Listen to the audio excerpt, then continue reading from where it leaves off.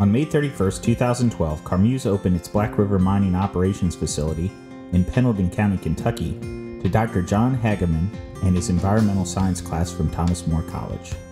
One of the primary objectives of Dr. Hageman's class was to visit an actual lime manufacturing operation to help his students understand how complex environmental and human health issues are interrelated.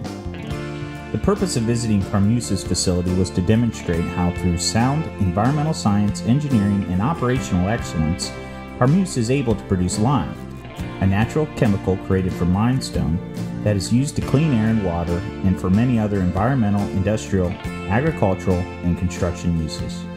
Dr. Hageman's class was welcomed by Chris Imbrogno, an environmental engineer at Carmeuse, and Ed Meyer, production manager.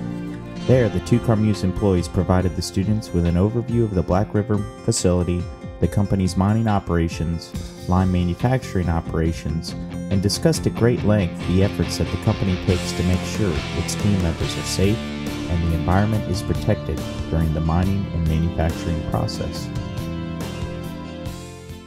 So even though we have a smaller increase of SOx through our stack by putting in a new kiln, we drastically reduce the amount of emissions coming out of the power plant. So it's it's a win-win for everybody. While at the Carmeuse facility, the college class was shown how limestone is taken from the mine, crushed, and manufactured into lime.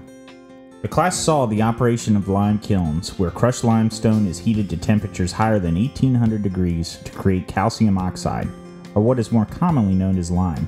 The class also observed the technology that monitors each kiln and the laboratories that test for quality, safety, and consistency of the product. Here you're dealing with calcium oxide that we're hydrating basically and making a, a calcium hydroxide or, or lime putty. When the power plants get done with it, it's uh, calcium sulfate, SO4, and it is very stable. It won't react, it won't do anything. That's why they use it in wallboard.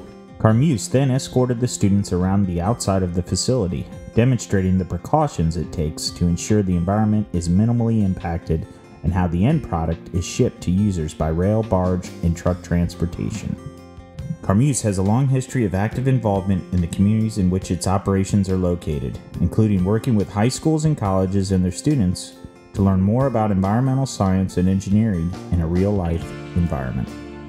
I'm Dr. John Hageman. I'm from Thomas More College, Department of Biology. During the summer, I teach an environmental class to non-science majors, and I always want to incorporate the environmental issues relative to the human health issues. That's why I do a lot of my field trips, because for the average student who looks at a computer screen all day long, everything's the same size.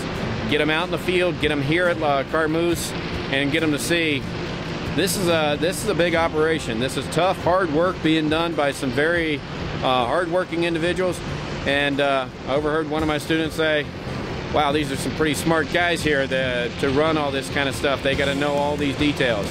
And I think it's important for students to see that, you know, yeah, you might not be, uh, you know, in a college class with them. They need to see the uh, intellect and the ability of all these people working on all these field trips and how valued their, their work and, uh, is, not only to the production of their product, but since it's an environmental science class, to the environment, helping them uh, clean, keeping the environment clean and keeping it healthy for all of us. Carmeuse is right up there with everybody. The amount of regulations that are that have to be met, uh, I'm very impressed. Uh, I see that they're doing their job and doing it well. And the sheer fact that we can look over and see their stacks and the, the opacity coming out of there is nice and clear. Uh, I've seen a lot of other stacks at other individual, uh, other locations that, let's put it this way, they probably can't say the same. So my hat's off to Carmeuse for the work they do.